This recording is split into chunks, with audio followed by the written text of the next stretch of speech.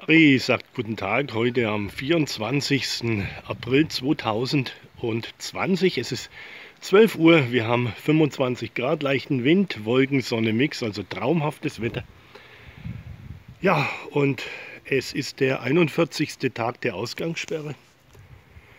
Gerade eben gelesen, die wollen also hier für die Kanarischen Inseln in einem Vier-Schritte-Plan diese Ausgangsbeschränkungen oder Ausgangssperre jetzt auch etwas lockern für Kinder, für Menschen, die spazieren gehen möchten, Sport treiben. Da wird sich einiges ändern. Das sind mehrere Seiten, das würde hier den Rahmen sprengen. Können Sie mit Sicherheit nachlesen auf jedem Gran Canaria Sender oder morgen vielleicht von Martin vom Radio Primavera die Einzelheiten hören. Beschlussfähig sollte es am Sonntag sein. Ansonsten hier alles okay, alles wunderbar. Supermärkte gefüllt, die Menschen sind ruhig, es ist kaum irgendwas zu sehen, zu hören.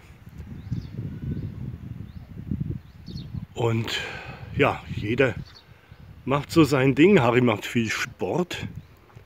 Hier Trepp hoch, Trepp runter. Jeder hat sich so seine Möglichkeiten in dieser Krise gesucht. Wichtig ist, dass wir gesund bleiben und nicht zu viel zunehmen.